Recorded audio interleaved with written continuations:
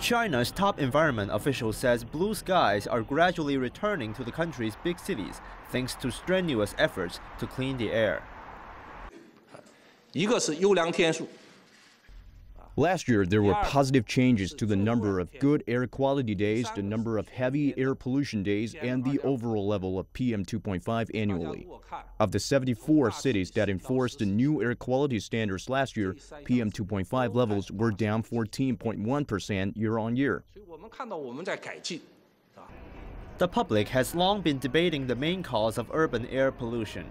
Chen says the answer lies in the country's excessive reliance on coal especially among civilians, many of whom burn low quality coal that can emit pollutants several times higher than that of industries.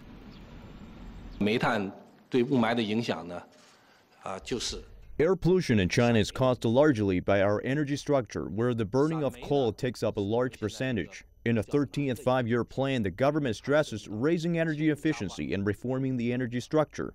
Therefore, we will step up the promotion of clean coal.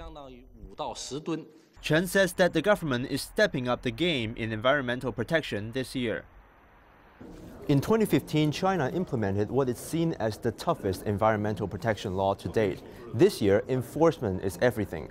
Officials want to make sure that it is, quote, more than just a piece of paper. We will make sure local governments do not deliberately protect local polluting entities and intervene with environmental inspections.